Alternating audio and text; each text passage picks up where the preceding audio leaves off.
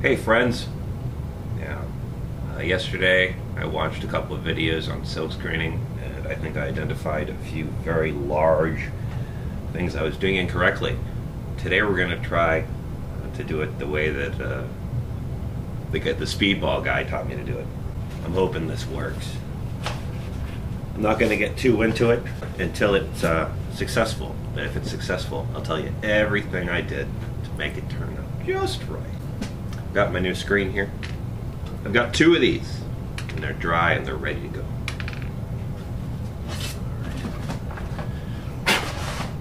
And there is a bug on my screen. Like I said, if everything goes well, I'll explain everything I'm doing right now. I just don't know if I can deal with all that disappointment. See you in eight minutes. We're coming to the end of our recommended eight minutes exposure time. Now it's time to rinse this off. Oh, I'm excited.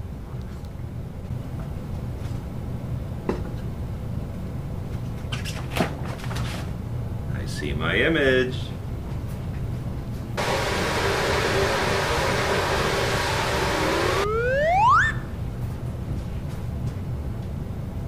It worked.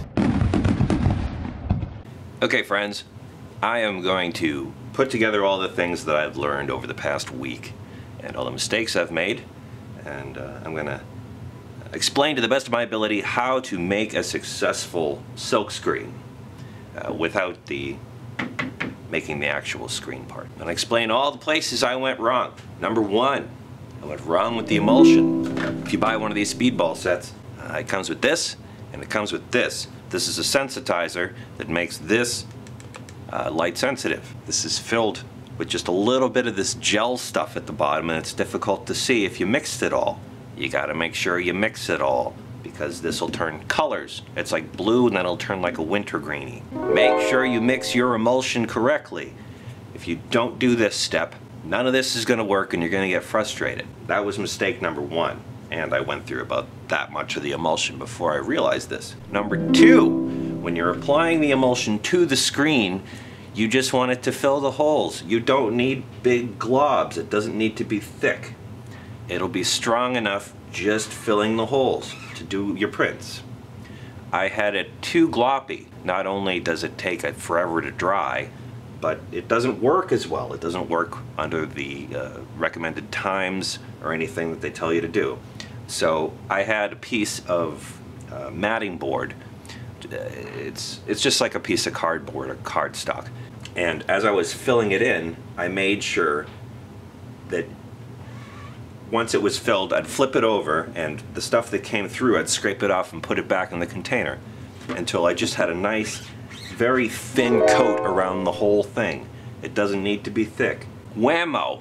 So number two is make sure your emulsion isn't on too thick. I did that wrong four times. And also, you know, it's pricey. You want to hold on. Number three, the correct way to expose it is not upside down like that. It's like this. Also, you want a piece of black paper and you put your screen down on the black paper. You put your image, which needs to be very, very black, directly against the screen. Some people tape it, I didn't, but it worked fine this time. And then you get a piece of glass that weighs down on it. Whammo! This is so no light can beam back up. The, the black will help the emulsion soak up all the light that's hitting it. There's no refractable light on the bottom. See, I was trying to do it this way, and that's wrong. Make sure your emulsion is touching the black paper so no light comes back. Make sure your image is snugly put against your emulsion. Make sure your glass is smushing it all together so there's no gaps so your image comes out perfect. I didn't do that part.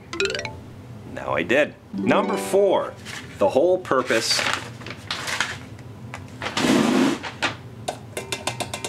of this light here, the reason they give you depths there's a whole, uh, there's a list of the screen sizes and the depths you want to use.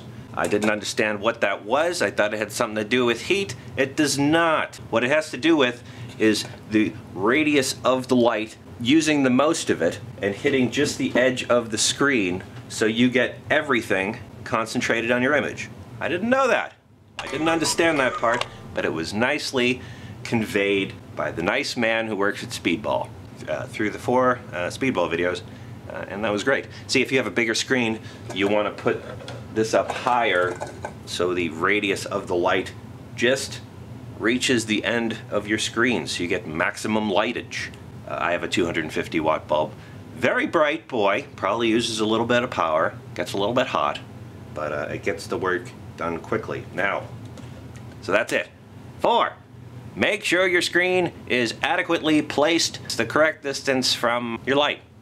Now, there's one last thing. What happens uh, when the light is hitting your emulsion, this is after it's been in a dark place to dry, every place the light is hardens. And the place where the light is not, uh, see your design, does not harden. If you underexpose it, all the emulsion will not be hardened. If you overexpose it, the light could seep through your design and harden the places you don't want to harden. So don't underexpose, don't overexpose. There are lots of handy charts online. Uh, and uh, you can you also get a chart when you get your speedball stuff. I only understood parts of these things. I guess I'm more of a visual learner. So once I saw all this stuff uh, done by the speedball guy, it all came back to me. I'll put a link underneath to those speedball videos. He explains it nicer. He's a nice fellow and he gave me all the all the things I needed. All right, I need to let this guy dry. But uh, I have fun ideas for today. We're gonna do that next. All right, as you can see in this handy dandy fast motion video, I cut out my original films, which was probably, I don't know, it's not the best idea, but I put it on a piece of cardboard and then I started to spray paint different colors to put my silk screen over. The registration isn't going to be perfect, but I don't want it to be perfect. I just want the image to be inside of the colors. And I think I can achieve that with this. If I was a brighter man, I would have used some kind of absolute uh, registration, so I can just go plop, plop, plop, plop, be easy on myself, and hold off on that type of thing for the future. I'm spying a little hole there. There's stuff called screen filler, where you can fill in those dots. This is my screen filler is the, this tape right here. I'm gonna use that. Let's see how easy it is to do this. I'm going to use parts of the matting board as squeegees since I don't have a proper squeegee.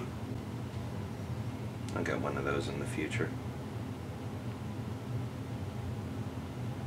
Oops. Right. Now I want to flood the screen before I do this.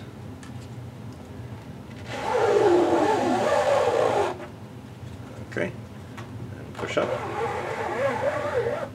Perfect. You guys ready for the first print? I am.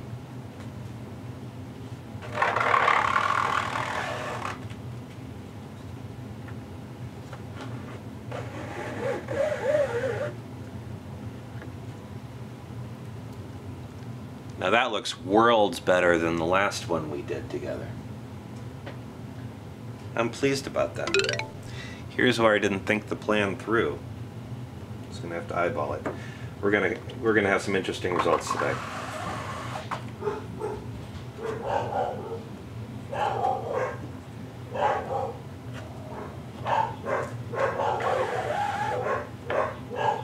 Huh! No shit. Bad. Didn't need to do it twice. Won't do it twice again.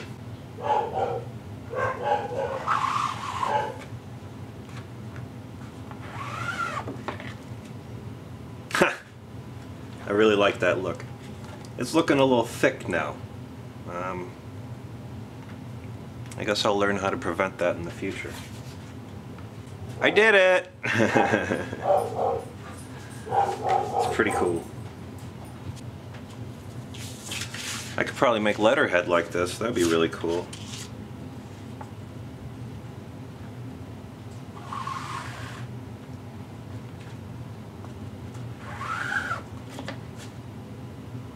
Hey.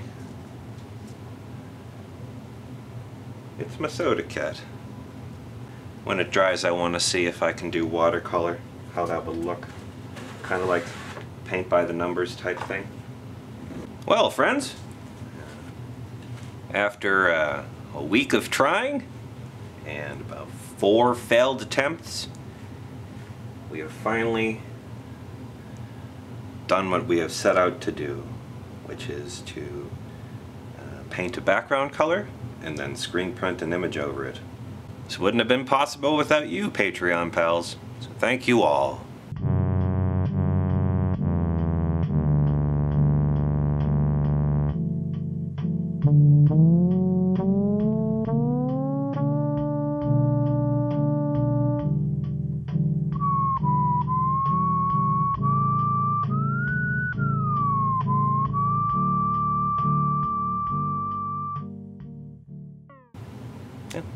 Gonna go wash off my screen now. It's gonna be fun when these dry. Thank you everybody for watching. I'm very excited about the outcome here. Um, if you have any questions that you think I can answer about this process, just ask them in the comments. Or, uh, shoot me a message on Patreon and I'd be overjoyed to share what I've learned. Goodbye, friends.